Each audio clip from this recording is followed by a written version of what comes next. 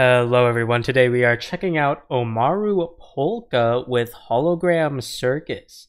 Now, I'm not very familiar with Polka, but this was a recommendation from one of you, and I'm pretty excited to check this out. Uh, I've obviously heard of Polka before since we have been uh, taking a look at some of the Hololive talents as well as the Nijisanji talents, and this is a name that has come up before but this is my first time really hearing her voice in a song or just how she sings, what kind of music she makes, because this is an original song. So let's just jump right on into things in three, two, one, play. Okay.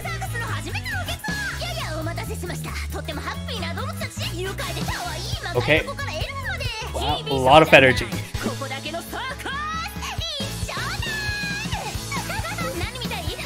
Okay, okay, very high energy, very upbeat, very theatrical. Let's go back a bit because I, we've got some fast lines just rolling off her tongue.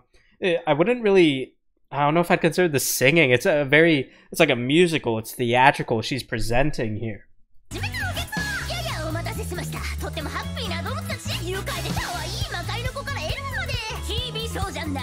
She's got a very very impressive control over the demeanor of her voice.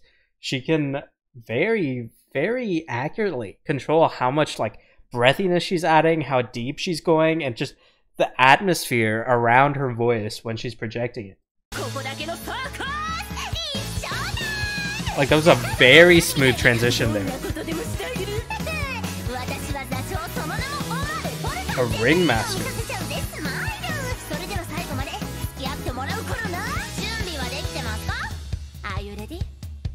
Okay, getting some. Mm. Okay, that was not where I expected the instrumentation to go from the drums. We were getting the steady drum beat that's kind of building up, and then we introduced this very high pitched piano that kind of lightens the entire mood of the song when I thought it was going to get a little more intense.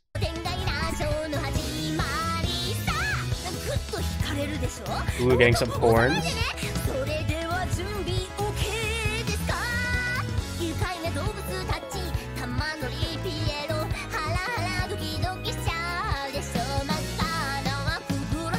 Right. So this is quite interesting because you know in most original songs we'll get from uh, these VTuber talents, a lot of the time it'll be something that kind of showcases the vocal ability or the instrumental ability of the music team or the uh, artist.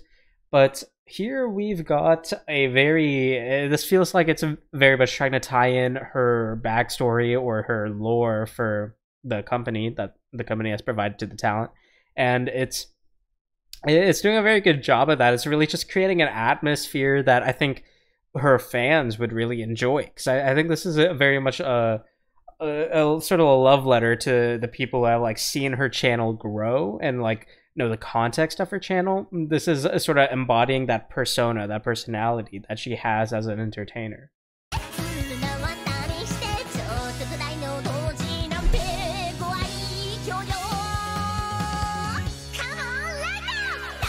Oh, that was a nice. I like that. So uh, we were getting this this really isolated vibrato from the vocal track, and so when you, when you go into that high, high pitched treble tone with the reverb, it gets a little. It's a little dichotomy there that serves as a transition as opposed to the dichotomy itself being the transition.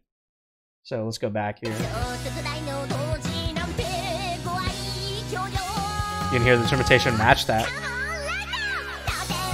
Nice.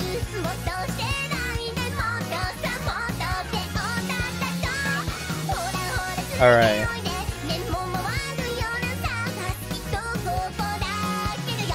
Alright, I think that was sort of like the hook, the chorus we've really got.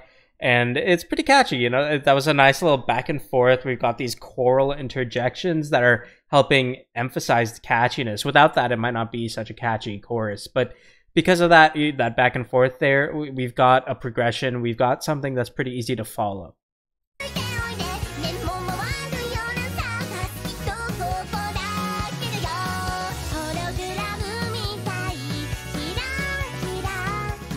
all right Interesting. So we're sustaining the instrument, uh, the instrumentation here, but the vocals are getting softer and breathier. You can hear that we're kind of we're falling away from the climax of the song, but because of the sustained instrumentation here, it still feels like we're pushing forward. It still feels like oh, we're building up to something, even though the vocals are kind of mellowing down.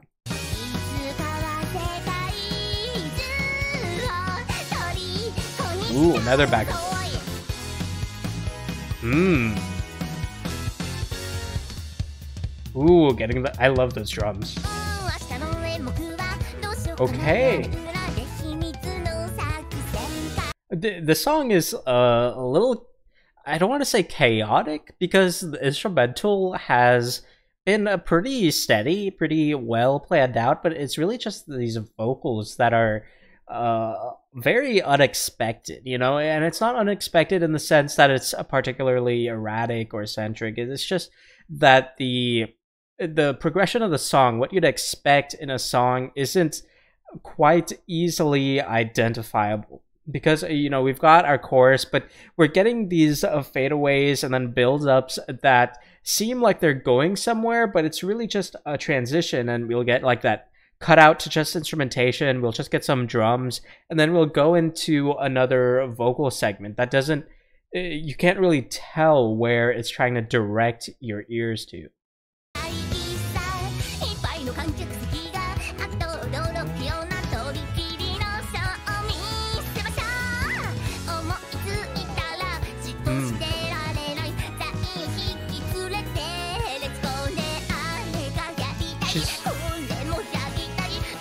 Like like here you can tell this is a very obvious buildup, but I I don't I can't confidently say that I would interpret this as a buildup with what we've heard of the song before without that drum, without that drum helping us uh, helping communicate that this is a buildup to something big. I'm not sure if the vocals eh, themselves would be able to communicate that with the track record the song has established so far. And I'm saying that, but I don't think that's a bad thing. I think this is a very uh, fitting uh, composition for this type of uh, this type of talent. Really, I think as a song, I think the role of this piece as a song is secondary to the role of the piece as a presentation of this VTuber. I think this VTuber and her persona, her personality, her backstory, I think that all is the priority here, but we still got a very well made song to present that. And I appreciate that. I really like that.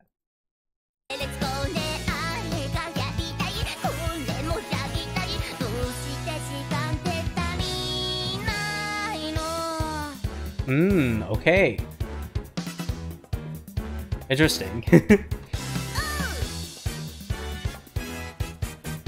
you know, I, I interpreted that as a build-up, but uh, I'm not sure if I. I mean, you, you could say that objectively, that was a build-up progression with the beat, uh, and just the tone of the entire song, the demeanor building up to something. But now that we've got this new segment, rather than really referencing that chorus we got before, which I interpreted as a chorus, perhaps uh, I'll see a different real climax of the song. But I'm pretty sure that is the chorus, and I'm pretty sure we're gonna hear that again. But uh, this new interjection here, or well, I say interjection, it's more like a segment here, is rather unexpected. And I think that's really just the entire tone of the song because we've got this uh, progression. You know, it's not like we've had these massive switch up from, uh, we, we haven't had this mass- massive switch up uh, from the instruments being used or really just the atmosphere of the song per se but it's just these composition choices that are so unusual that really just catches you off guard. But at the same time the song isn't difficult to follow which is very impressive to me and i think that's a very difficult uh, difficult thing to do to make a song intentionally mm, chaotic without making it messy and that's very impressive.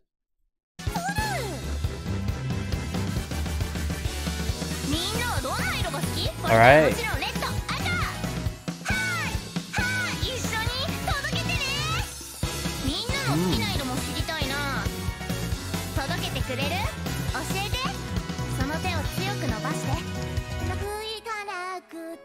Okay. piano cutout.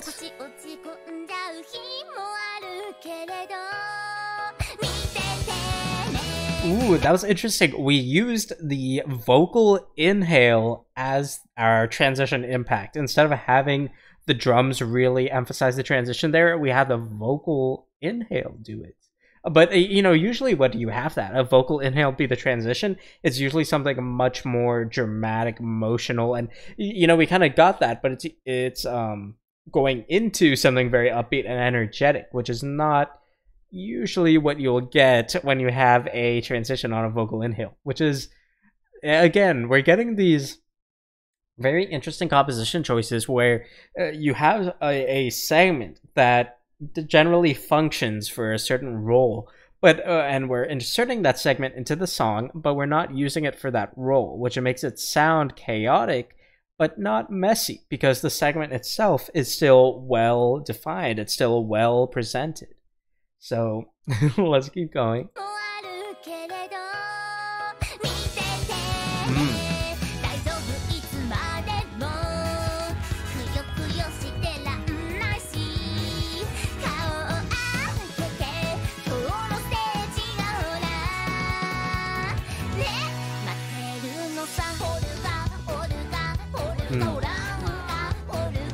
That's nice.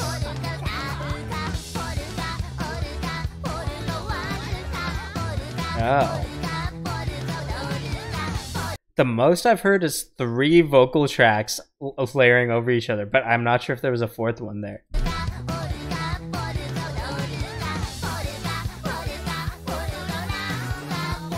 Okay, now we're definitely getting four. okay.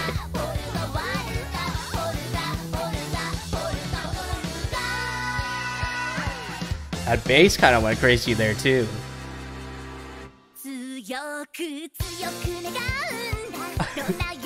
Again, it's just those little interjections, like uh, for example, that uh, that complete cutout with and just the demeanor of her voice there when she's doing that vocal isolation line, and transitioning into this sort of upbeat. It's it's very unexpected, and I think it's massive props to the composer and just the music team for this song because it's uh, and of course the vocalist as well because just the entire atmosphere of the song is i believe very very fitting for a circus. You know it's um i think it's very well eh, you know when you're listening to this without context you know it sounds like they didn't know what they were trying to write.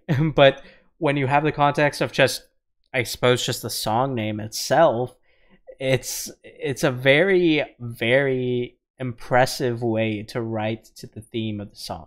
And I think that's not something you really see per usual because it generally, you know, you have your stereotypical, oh, if it's a sad song, write in a minor key and just kind of play to that. And then if happy song, write to a major key and play to that. But you don't really have this sort of, it, it almost feels like a meta composition where it's uh, where the composition itself, the way it's organized, feels like what's communicating the message or what's communicating the theme of the song.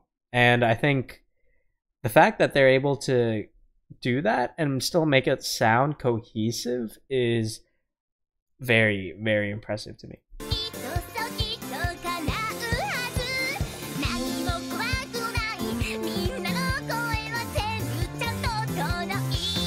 That a is that a bass there? That sounds odd.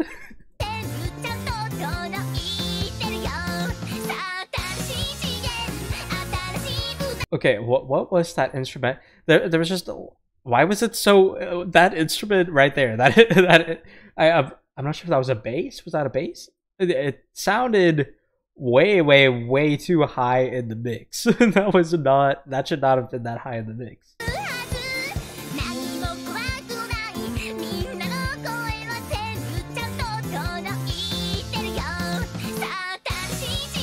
That sounds like a bass. Why was it so high in the mix? Yeah, like like you can hear that bass right now. You can hear that bass right now, and it's like where it should be in the mix. I, it could be higher, honestly, in the mix right now. But why was it so high before? If it was going to be that high, you have, you have to at least let it fade back down to where you want it, it through the transition. You can't just cut it off and have it go to way down low. That felt that was that was one thing I would say felt messy rather than chaotic. But let's keep going.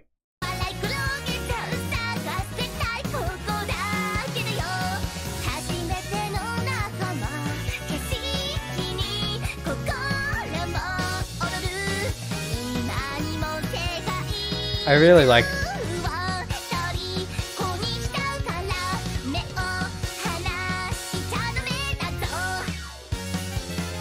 Alright, I really like how the song... Nice. I really, really like how the song uses those chimes and horns. I think, um, in, in general, the mix itself, those chimes, those horns, and the vocal inter... I think I just had a voice crack there. I think, and the vocal interjections we've had have been very, very impressive. I really, really like those. Um, but that said, the song is very enjoyable, but it's not something I would necessarily listen to again. I think it's very much a the song feels like a show. It's an event in itself, but it doesn't feel like it plays the role of a song. It feels like a presentation of the character's persona and their attitude, their atmosphere, their channel. And I think that's I think that's a very legitimate way to present a channel. I think that's a lot of times the role an original song should play for a VTuber talent.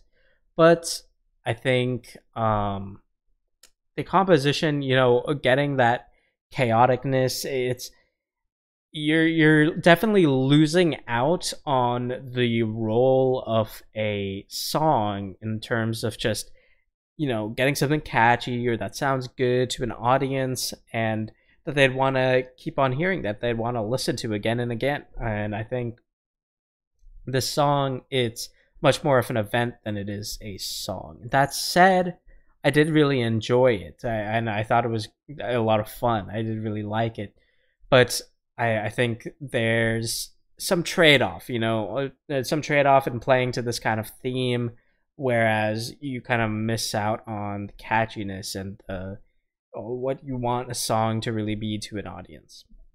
That said, there's personal preference on everything, and obviously this song did not do badly at all. It's got like almost four million views at the time of watching this, so obviously this song saw success, and I think, a but a, uh, personally, I think a large part of that the song's success is not because of the song as much as it is the personality behind the song.